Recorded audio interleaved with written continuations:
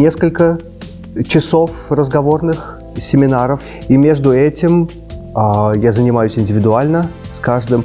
И таким образом слушатели могут составить как бы свой план дня и э, понять, что им важно, концентрироваться на этом и более эффективно усваивать материал. Очень большая радость, что я вижу, что мои юные коллеги смогли тут же понять, как бы, что взять на будущее. Надеюсь, что я смог им помочь и дать какие-то советы, чтобы они развивали наше дело дальше.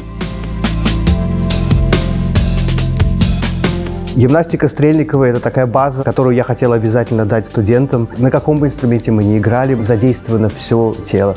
Иногда мы как-то забываем, насколько важно дыхание. Забавный пример, когда ученик играет какой-то сложный пассаж, и вроде он занимается правильно, за несколько мгновений или секунд до возникновения какой-то технической проблемы, я вас уверяю, у него собьется дыхание подобные маленькие упражнения, они учат нас э, больше прислушиваться к нашему телу.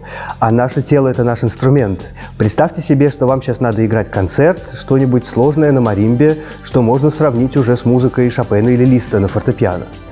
При этом вы 15 минут назад притащили 100-килограммовый инструмент, собрали его и поставили на сцену.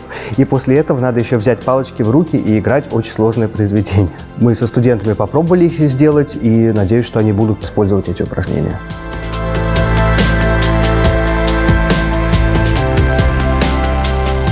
Самая очевидная разница между нашим образованием и образованием вот тех стран Европы, э, Нидерланды, Германия.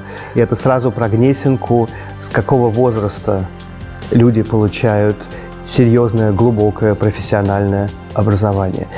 Когда я со своим гнесинским менталитетом приехал в Европу, для меня было не всегда понятно, Э, как у них там все это происходит.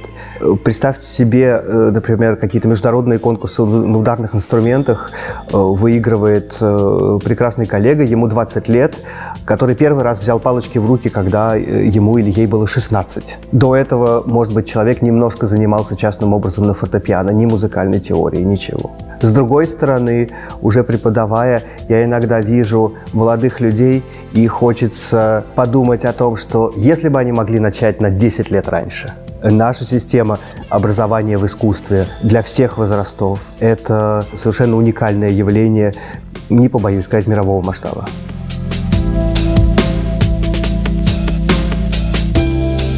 Ударные инструменты вроде развивались, но поскольку они в основном связаны с новой музыкой, это было очень и очень непросто. И это были какие-то вот уникальные э, единицы э, вроде Марка Пекарского, э, который практически в одиночку поднял такую тему, как ансамбль ударных инструментов здесь. Очень было мало музыки и было мало инструментов, поэтому игралось огромное количество переложений, прежде всего на ксилофоне, марим тогда не было почти, и на ксилофоне игрался скрипичный репертуар. Когда я рассказываю это молодым коллегам, они говорят, да как такое может быть? В школе не было ни одной маримбы, и даже не было вибрафона. У нас были только ксилофончики, вот, но мы на них оттягивались по полной. Играли вообще все, что можно. Я очень э, рад и горд, мне удалось сыграть первый скрипичный концерт Прокофьева. Но это была прекрасная школа. Потом, когда я смог, к счастью, серьезно углубиться в фортепиано и чего-то там достичь. И сразу мне захотелось э, принести вот этот фортепианный звуковой опыт на маримбу. Как только я вот упомянул в нашем разговоре сыграть Шопена, у вас в голове возник звук. И это то, что я называю слушательской конвенцией. Маримба настолько молодой инструмент, что она для наших ушей непривычна. У нас, конечно же, есть проблема репертуара. Для маримбы существует некая слушательская конвенция уже. Это все-таки прежде всего что-то такое думка-думка, бум-пум-пум-пум. Теплое, деревянное, немножко ритмичное, очень-очень милое. Нам нужно больше профессиональных композиторов. учась в Гнесинской школе и играя много музыки, и слушая много музыки, тогда мне казалось, что а, вот я могу подбирать музыку, чтобы она попадала под настроение, под атмосферу. Может быть, именно этот интерес привел меня к тому, чтобы заняться киномузыкой. Музыка — это воздух в кино. Находить именно то звуковое решение, которое заставит кадр дышать. И мне кажется, что потом это повлияло на исполнительство. Теперь мне интересно создавать пространство. Э, я исполняю какое-то произведение. Это как я создаю некое измерение. Дирижировать я начал благодаря кино. Мне пришлось это делать, но это классический вариант, когда, чтобы процесс шел быстрее при записи, композитор сам дирижирует э, свои партитуры. И первые советы мне давал Михаил Сергеевич.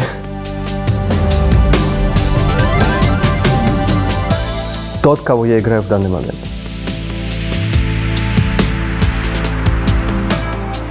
Гофман. Спать.